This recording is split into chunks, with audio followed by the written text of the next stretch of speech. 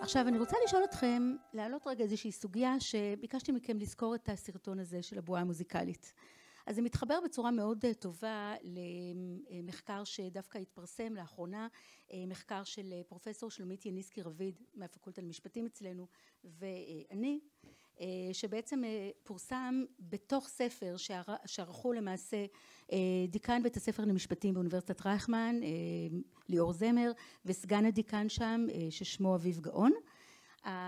הספר עוסק בנושא של הטכנולוגיות החדשות, הם קראו לזה הטכנולוגיות המתפרצות, והם דווקא עסקו באתגרים של הנושא הזה, והמאמר שלנו התקבל לשם כי אנחנו בעצם הסתכלנו על היתרונות של הסטרימינג במובן הזה שהיום באמת כפי שכבר אמרנו לא צריך את הפלייליסט של גלגלצ כדי לפרוץ, אתם המוזיקאים, וגם אנחנו הצרכנים יכולים כל אחד מאיתנו באמת לקבל את התוכן שהוא רוצה, והעולם הזה פתוח וזה נפלא. אבל אז בעצם נשאלת שאלה מאוד מאוד מרכזית, הרי דיברנו על מוזיקה, היא כלי לקירוב לבבות, נכון הוא מקרב בין אנשים, אז אתם רובכם צעירים ואם תשאלו את ההורים שלכם שגדלו כאן בארץ בשנות ה-60 או ה-70 אז הם בשעה חמש וחצי בערב ראו את סמי וסוסו, תשאלו אותם, או את המסעדה הגדולה, אז הם ידעו להגיד ככה כמה מילים בערבית ואחר כך הם ראו את סוזי סופרייז ואחרי זה הם ראו את חדווה ושלומי מכיוון שהיה כאן ערוץ אחד שדאג לייצר באיזשהו מקום את הקרבה במובן הזה וכך גם בנושא המוזיקה. אנחנו לא צריכים את זה היום. יש לנו את האלגוריתם ומה שהאלגוריתם עושה הוא בעצם לומד כל אחד ואחד מאיתנו, נותן לנו יותר ויותר ממה שאנחנו אוהבים. אבל אז נשאלת שאלה מאוד מעניינת לגבי חברה רב תרבותית. אם מוזיקה היא כלי שמקרב לבבות ואנחנו מקבלים עוד ועוד ממה שאנחנו מכירים אז בעצם האלגוריתם יוצר באופן בלתי מודע מין סוג של הדרה חברתית כזו. ואז מצד שני ואני כבר מקדימה יש הרבה מאוד פתרונות שדווקא המערכות של ה-AI של הבינה המלאכותית יכולות ליצור לתוך הדבר הזה. אז רציתי לשמוע מכם מה אתם אומרים מצד אחד על האתגר הזה ומצד שני על הפתרונות האפשריים. אתה תתחיל? כן, נושא שמטריד אותי בימים אלה. יש אופציה, אני קורא לזה תמיד להכיל את האלגוריתם, צריך להכיל את האלגוריתם באינפורמציה. עכשיו אם מדברים מהצד של המאזין אז המאזין צורך מוזיקה, המערכת רואה איזה סוג מוזיקה הוא צורך ויודעת להתאים לו כבר את הפלייליסטים. בדיוק עשינו סרטון שמראה על למה shuffle בספוטיפיי זה לפעמים לא באמת shuffle כי הוא מזהה את ההתנהגות שלך והוא יודע להתאים לך בדיוק מתי ה play והשיר הנכון יגיע. מצד שני מהצד של המוזיקאי כל מוזיקאי שמשתמש בכלים של קידום ממומן או קידום אורגני דרך תכנים כמו שאמרתי לפני רגע יש לו אופציה בעצם ללמד את המערכות האלה של ספוטיפיי מי הקהל מעריצים שלו. בעצם ברגע שהוא מצליח להזרים גם קהל שהוא איכותי מבחינת אחוזי האזנה ואחוזי האינטראקציה אז האלגוריתם לומד יותר מהר לאיזה קהל עוד צריך לגלגל את זה הלאה. אז אם מדברים על הדיסקאבר וויקלי בספוטיפיי או רדיו זה הפיצ'ר המרכזי שבעצם עוזר לאומנים האלה לגדול ולמצוא את הקהל יעד בעצם המרכזי בצורה אורגנית. זה בעניין הזה. אוקיי, מעולה, זה בעיני היוצר. עכשיו בעיני הצרכן ובעיני ומהזווית של החברה הרב תרבותית. אז שומעים? כן. קודם כל ענית מדהים. נכון, גם אני אומרת וגם אתה. כן. עכשיו תגידו גם לי שהייתי מדהימה. בצד המשתמשים, קודם כל זה נכון, ככל שיש יותר ויותר משתמשים ככה הנחת הבסיס היא שיהיה גם יותר תכנים מגוונים והם יתאימו בעצם ליותר ויותר אנשים. אני חושב שעדיין הדבר הזה הוא מתהווה, זאת אומרת זה עוד לא סגור, זה לא שאנחנו אומרים הנה ישיבת פלייליסט בגלגלצ בוא ניכנס לשם, אלא התהליך הזה הוא קורה כל הזמן במקביל, המערכות עדיין, הקודים שלהם כל הזמן מתפתחים, זאת אומרת מה שהיום שחר אומר יכול להיות שבעוד חודש יהיה משהו אחר או שדרוג שלו. ולכן אפשר כל הזמן לרוץ אחרי בעצם לנסות לגלות איך אני עובד עם האלגוריתמים ועם המערכות האלה. אני גם רוצה להגיד משהו אחר, משהו אולי שיסתור קצת את הצד השני, קודם כל זה באמת הזדמנות מעולה לגלות מוזיקה או תוכן חדש. זאת אומרת בסוף רוב האומנים במיוחד הצעירים הם לא ייכנסו לצורך העניין לפלייליסטים גם לא של אפל של ה Top 40 או ייקח להם זמן עד שהם יגיעו לשם ולכן ההטייה הזאת שאת מדברת עליה היא דווקא, הופה, היא גם לפעמים שפיץ, היא דווקא אולי הזדמנות להגיע. קודם כל בוודאי שהיא שפיץ ואנחנו חייבים באמת להיות שם. מצד שני דווקא מערכות ה-AI מסוגלות גם לאתר הזדמנויות, באמת לייצר, למשל בדיוק סיפרתי כאילו נוער הרבה מאוד פעמים, אפשר לשמוע אותם בעצם אם מביאים להם איזושהי יצירה ש... ואנחנו מכירים את זה גם בקטע הרב תרבותי בבית ספר למוזיקה פה יש באמת הרבה מאוד שילוב של אומנים בשפות שונות וכולי שגם זה חשוב מבחינה רב תרבותית ומערכות ה-AI יכולות גם בעצם לעשות את זה. עכשיו אז במובן הזה אנחנו מדברים על כך שאנחנו לא רוצים היום מה שנקרא לייצר רגולציה אלא דווקא לייצר הזדמנויות נוספות שכן מייצרות את התוכן הזה אבל צריך להבין גם את האלמנט הזה של הבועה התרבותית הבועה המוזיקלית. אז זה באשר לדבר הזה. עכשיו קצת באמת נגעתם בזה שניכם אבל טיפה כדי לארוז את זה קצת יותר גם מהזווית של היוצר וגם מהזווית של המפרסם והצרכן.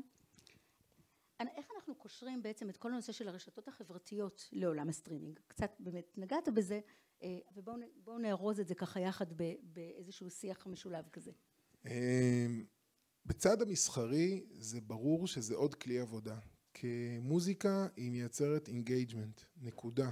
זאת אומרת אני מכיר הרבה מאוד אנשים שהם אדישים להמון דברים חוץ מלמוזיקה.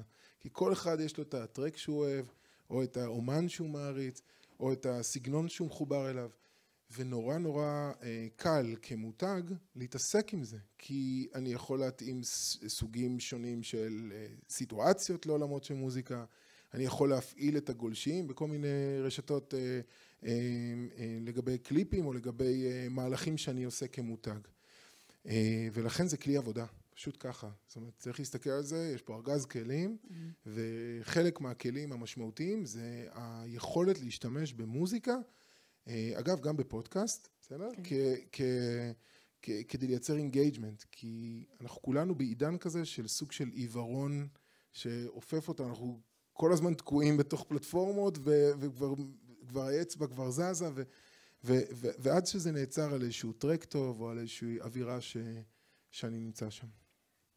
אני חושב שיש קונטקסט ישיר כבר. יש קשר ישיר בין הפלטפורמות. לגמרי כן אם ניקח לדוגמה אומנים שצמחו מתוך הדיגיטל בשנים האחרונות יש את דוג'ה קט אם אתם מכירים אותה. היא אחת מהשחקניות המרכזיות שצמחה מתוך טיק טוק נגיד והיא ניצלה את הפלטפורמה גם לייצר תכנים מוזיקליים שיעזרו לקהל להבין מי היא ברמה המוזיקלית וגם ברמה האישיותית. זאת אומרת הרבה מהאופי שלה היה בפרונט ולאו דווקא המוזיקה. והיא ניצלה את הפלטפורמות של סושיאל מדיה לטובתה והיא גדלה ועכשיו היא חתומה בלייבלים הכי גדולים כנ"ל על נונו הישראלית פה שגדלה מתוך יוטיוב אני חושב שהקשר הוא עכשיו הפך להיות ישיר ואני חושב שהם לא יכולים גם אחד בלי השני. אני ספציפית גם חושב שבגלל שיש רובד פה של אודיו בספוטיפיי יש שם את המרחב שאתה נטו שומע מוזיקה. נכון יש קצת אופציה גם לראות דברים פעם ב אבל ברמת העיקרון פה אתה צורך תוכן ויזואלי פה אתה צורך את המוזיקה ואני מאוד אוהב את ההפרדה הזאת. כי יש בעצם פה כמה צ'אנלים לדבר עם הקהל. יש הרבה מוזיקאים שחושבים שזה כאב ראש אני חושב שזה יתרון ענק בשבילם אוקיי זאת אומרת אתה מדבר על אומני צ'אנל אבל שכל פלטפורמה בעצם מסוגלת לספק את היתרון שלה וזה מה שצריך לייצר. לגמרי זאת אומרת אם לא משתמשים בכל הכלים האלה בצורה נכונה אגב בצורה אורגנית גם כן קשה ליצור מצב גם של טסט. מוזיקאים צריכים להבין מאיפה הם מביאים את המאזינים באיזה גילאים הם ואיזה קהל אוהב לצרוך איזה תוכן באיזה פלטפורמה. והדברים האלה מתאפשרים היום לכל אחד מאיתנו בפלטפורמות האלה בין אם זה בצורה אורגנית או ממומנת חד משמעית שממומנת מאיצה את התהליך מזרימה הרבה נתונים פנימה ומאפשרת לאנשים להבין מי הקהל יותר מהר. אבל חד משמעית יש פה קשר ואופציה לעשות טסט ופריסה מאוד מאוד טובה. אוקיי. אתם יודעים בכנסים האלה חלק מאוד משמעותי זה גם ה networking אז אנחנו כמובן לא נוותר גם על ההפסקות לפני הפאנלים הבאים.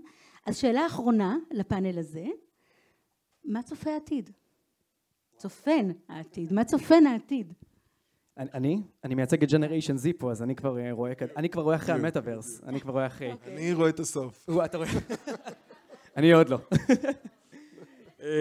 מה צופה העתיד? טכנולוגית אני חושב שיתאפשרו לנו עוד הרבה מאוד אופציות לצרוך מדיה בצורה שונה.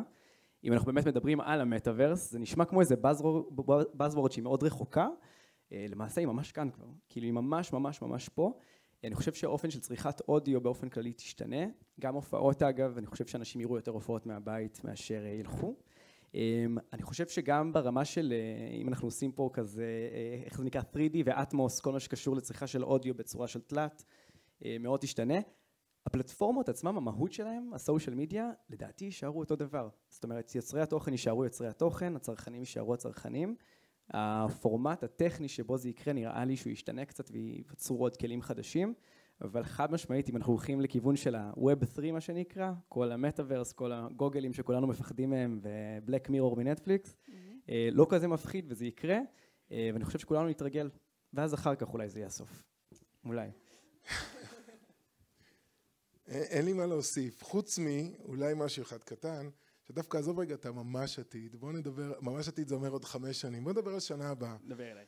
אנחנו צורכים הרבה יותר אודיו, זה גם ככלי עבודה שלנו, אנחנו מקליטים הרבה יותר את עצמנו, אנחנו מאזינים גם לכתבות, אנחנו מדברים למכשירים, האודיו חוזר ובגדול, ותמיד כשדיברו על וידאו קיל דה רדיו סטאר וכל מיני כאלה, אז רואים ששום דבר לא משתנה. אגב, אני גם לא מאלה שמספידים את הרדיו, את הרדיו האנלוגי, אני לא חושב ש... אני חושב שצריך למצוא את עצמו מחדש בעידן משתנה ולוחות טקטונים שזזים, אבל עדיין הוא משנה סדר יום, והוא עדיין יש לו ריץ' מאוד מאוד גבוה של אנשים שמאזינים. כנ"ל אגב לגבי הטלוויזיה הליניארית, שעדיין רואים שיש לא מעט אנשים בעידן של נטפליקס ודיסני ואמזון פריים. אז כשאני מדבר על כאן ועכשיו, אני אומר, האודיו כאן, הוא חוזר בגדול, וזהו, תכינו את הגרון. אז תודה רבה לשניכם על הפאנל המרתק הזה.